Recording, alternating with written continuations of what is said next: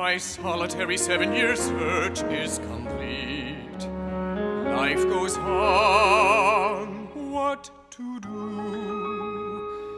Return to my academic perch, overeat. No person, vacation, or faculty post will ever replace what I treasure most time spent alone with my truest friends.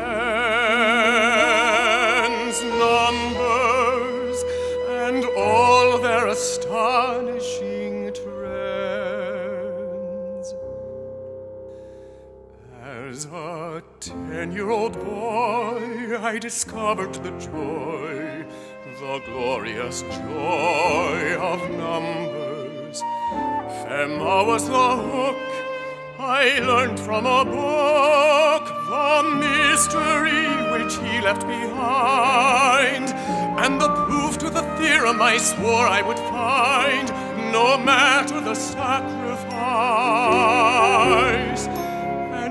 It is done. Yes, I was the one to reach this numerical paradise. I have discovered a marvelous proof, a truly marvelous proof.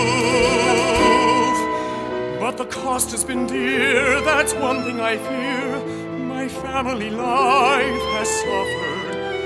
And although I found fame, it isn't the same as my personal, private delight. For no one believed that an end was in sight, that a proof could be found which would prove watertight, that math and its history could change